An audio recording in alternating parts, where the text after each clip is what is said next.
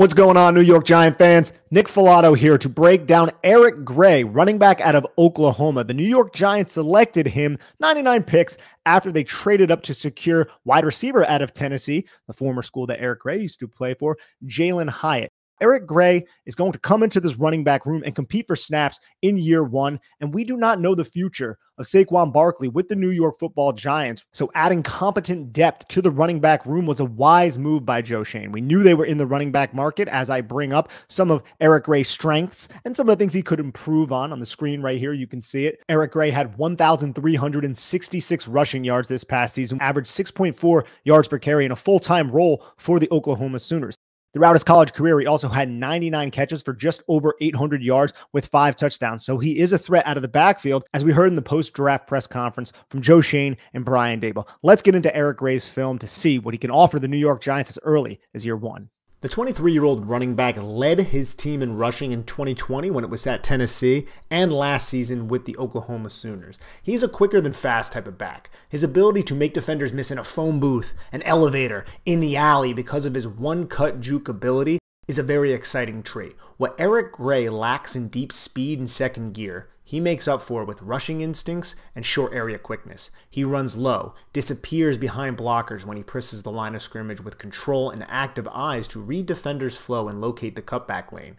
While he's not a true pile mover, he's not the easiest back to bring down, and he typically shields his body well from clean contact. Gray is a controlled rusher who sifts through trash with good explosiveness up to the second level. He understands how to tempo his rushes, and he is very sudden with his movements. And as you can see, he ran a lot of power gap. He also ran a lot of zone. He ran out of the pistol, predominantly out of the shotgun, a lot of counter, tackle, dart, bash. He ran in a variety of systems, but most of them did come out of the shotgun, so there might be a little bit of a transition period for Eric Gray once he gets to the NFL. But if you're watching some of these clips here, you could see the vision. You could see his ability to make defenders miss this play against Iowa State. Iowa State was one of my favorite games to watch because there were so many plays just like this one. Look at that safety as that safety attempts to make this tackle on Eric Gray. And if we even go back a little bit, the hole is gigantic for Eric Gray. Like, again, this was a pretty good offensive line he ran behind. You could see quarterback is going to show. We saw Daniel Jones do this so much, and now you're going to hit to the backside. And you can see how the defense adjusted to that. Now look, he could go this way, he can go this way.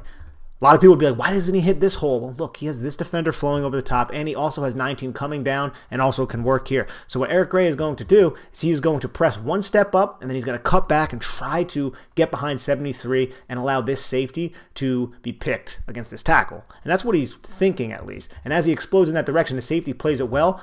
But watch that stanky leg. And that is something that Eric Gray does so well. His leg is so stanky, it must not have showered in months because he plants that foot and look at the head fake, look at the shoulders, and look how low he is to the ground. Very low profile, not a big target. And the safety reacts as one would expect the safety to react. He overcommits to it and he just flies right past Eric Gray. And this is where Eric Gray has a lot of success. As you saw through a lot of the clips before when I was talking, he just makes defenders miss from the 5 to 10 yard area of the field. I know this is Big 12 defenders, but these short area explosive type of traits that Eric Gray possesses, as well as the nuanced understanding of how to rush the football based on what the defender is doing, to have the peripheral vision to know what is going on around you, the overall spatial awareness, those are all traits that Eric Gray showed game in and game out at Oklahoma. And it's one of the reasons why I'm so excited about it. Like, watch how he sifted through that traffic right there against Iowa State.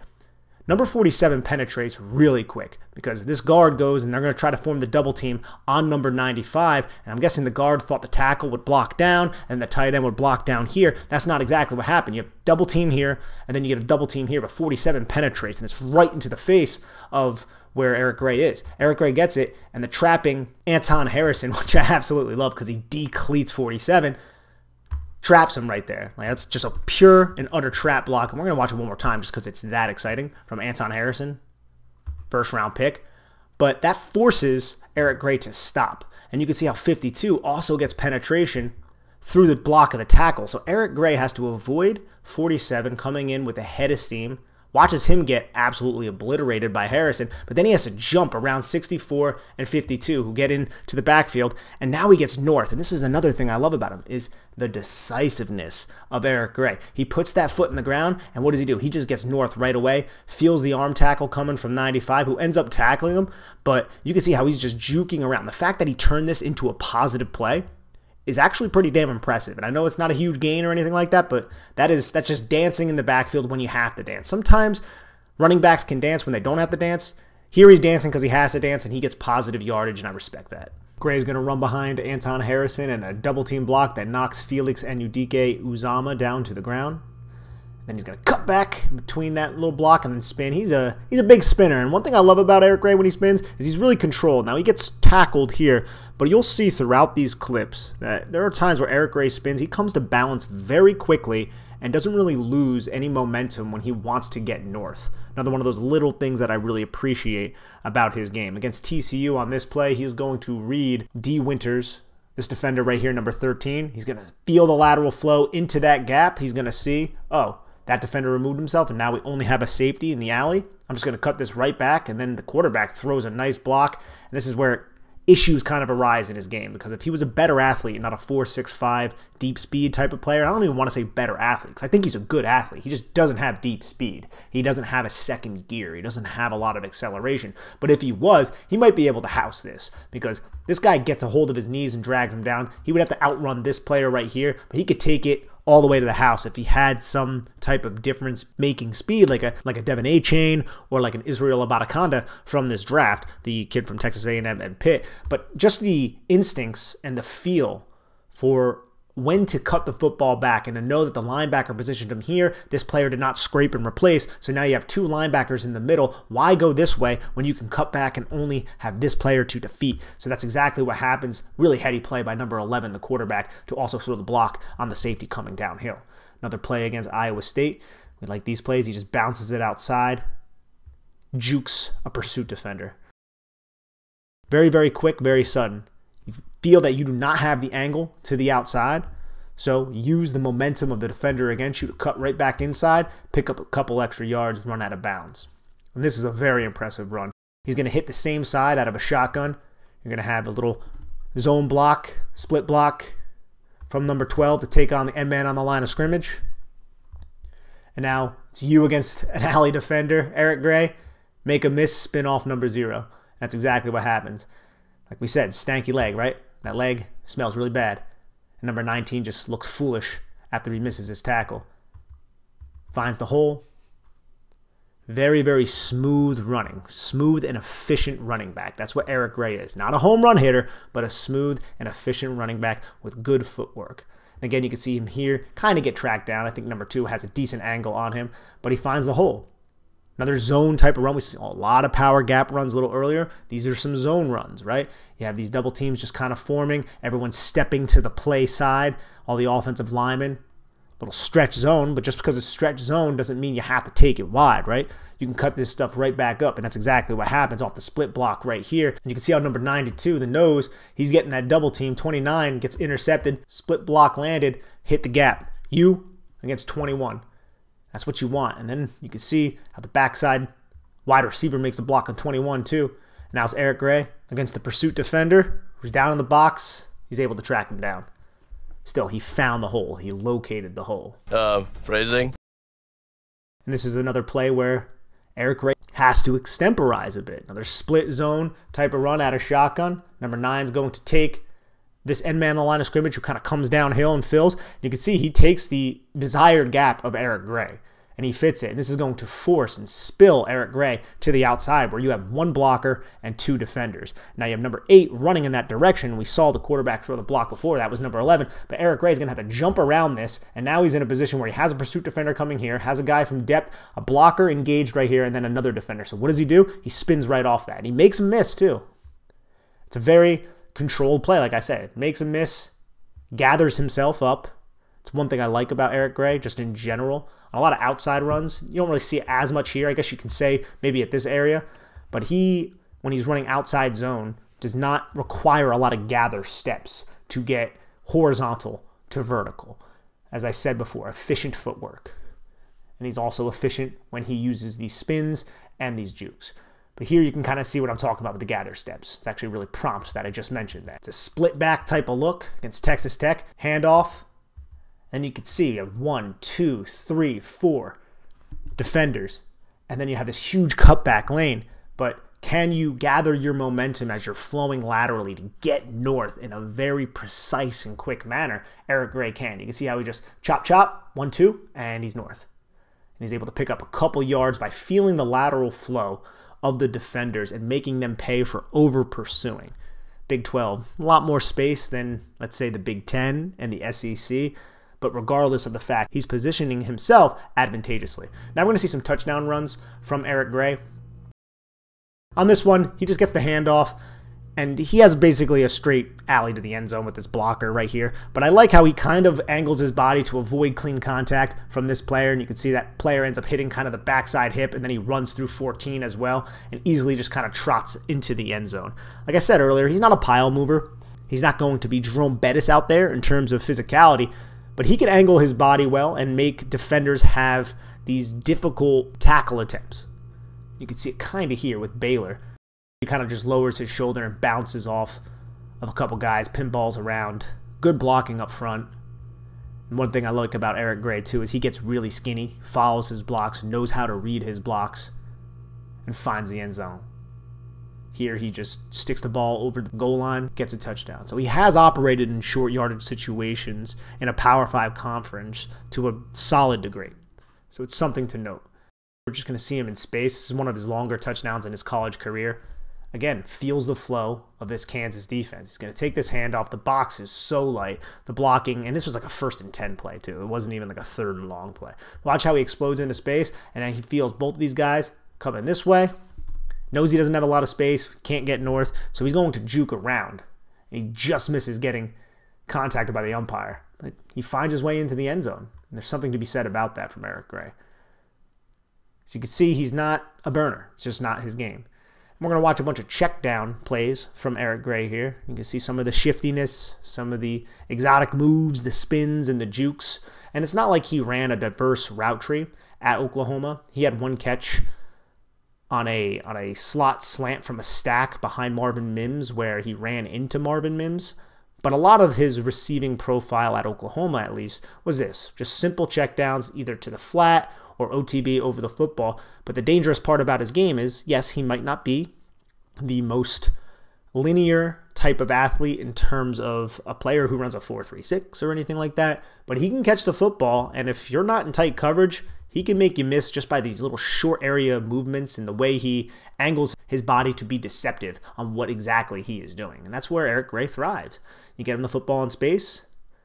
There you can see how he spins off of a tackle this guy has a clean tackle attempt. I believe that's Julius Brents, too. This is Kansas State. It's 23. It's Julius Brents. Clean tackle attempt, and then 41 has a clean tackle attempt. But watch how he just spins out of Julius Brents, then recollects his balance, sees 41 right in his face. So what does he do? He dips that outside shoulder, steps to the inside, and now 41, who's attempting to go for the football, misses the tackle, and then what? Eric Gray gets his eyes right up, and he's like, oh, crap, I have some space to operate. Let me get north. And he just starts to run, and he gets tracked down. Now, this is the play I was referring to before, where it was his catch out of a stack. He's on the line of scrimmage, and he's going to kind of run into Marvin Mims a little bit. And Marvin Mims ends up going to the outside. And you can see Eric Gray just bust over the middle of the field and make the catch, get tackled. Now we're going to see some plays from Eric Gray in pass protection. And look, Eric Gray isn't the biggest, he's not the most physical player, but he can identify where the blitz is coming from He's typically assignment sound in that manner, and he can just get in the way. He's willing, right? He's not one of those running backs out there who's like, you know, I don't really want to throw around my weight in terms of pass protection. No, he will stick his nose in you. It's just he's five foot nine, 207 pounds. And the 207 pounds, I, I feel like he's pretty thin frame for a running back that is north of 200 pounds. But you can see there, he handles his responsibility, gets some help. Here he's going to run into number 55, just get in the way, and 55 just discards him. But that's an edge rusher right there to me, this this isn't a terrible blocking rep from Eric Gray because he just gets in his way long enough and the quarterback gets rid of the football. I like this play a lot from Eric Gray. Now, he has an advantage because he is aligned in the A gap where 47 is sugaring, but he makes contact with 47, throws him into the guard, and then watch him come off 47 and then make contact with 17.